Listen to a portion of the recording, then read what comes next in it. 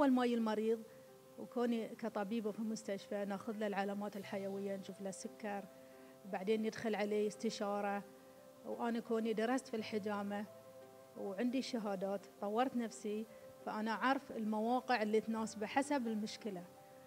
ويجيك المريض هل هو يا يبي حجامة وقائية؟ ما في شيء بس يبي وقاية أو يبيها كعلاج.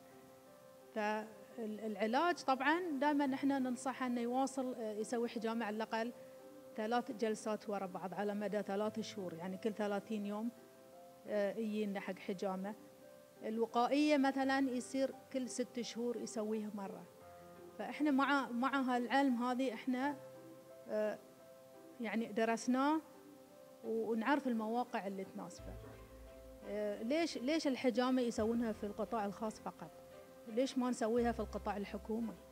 فهو بيوفر يعني في دراسات صارت في بريطانيا لما ادخلوا الطب التكميلي في المراكز الحكومية وفي المستشفيات طلع انه هو يوفر عليهم في النفقات العلاج.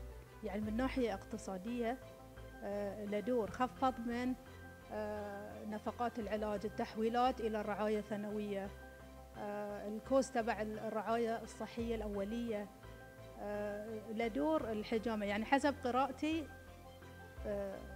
مع الدراسات اللي صارت في الدول الأوروبية. فأنا أشوف أن العلاج بالحجامة يعني علاج سحري أنا أسميه علاج سحري. يعالج الكثير من الأمراض ومو شرط كل الأمراض. يعني في ناس يتوقعون أن أن الحجامة بتعالج المرض نهائي ممكن تخفف حدة المرض. يعني بالذات عندي أنا مثل ما قلت مرضى الصداع النصفي وايد يستجيبون للعلاج.